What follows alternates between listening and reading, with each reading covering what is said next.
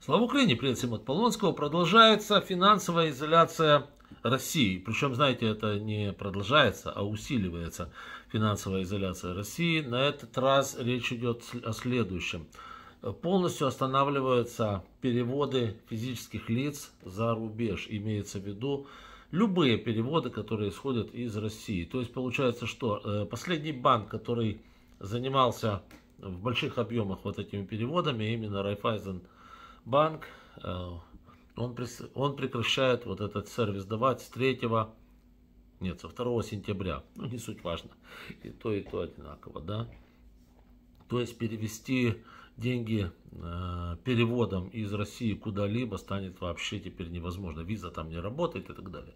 Не, они, конечно, найдут какой-то выход, будут переводить через какой-то киргизский банк. Я условно говорю киргизский, сейчас может не киргизский, а еще в Эмиратах и так далее, и так далее. А потом это американцы этот банк залочат. Будут искать какие-то обходные пути.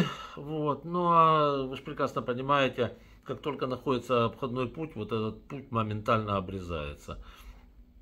Что же заявила группа, которая принадлежит вот этот Райфайзенбанк? Они сказали, нам жалко, если ситуация э, рушит ваши финансовые планы, но мы никак не можем повлиять на это решение, потому что это директива Европейского Центробанка. Если мы ее не выполним, соответственно, нам гоплык. Все просто.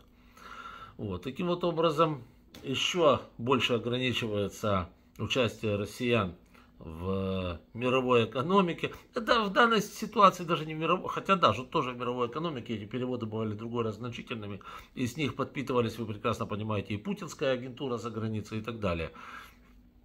Но если отбросить путинскую агентуру, которой там, конечно, много, и всяких там пропутинских блогеров, которые с утра до вечера пачкают в интернете, то ну, всех остальных тоже наказывают. Э, наказывают почему? За вот это молчаливое согласие с путинской агрессией, за то, что все эти годы голосовали за Путина, за то, что ну, говорили, что мы вне политики. Ну вот, вне политики, значит вне политики, вне денег тоже.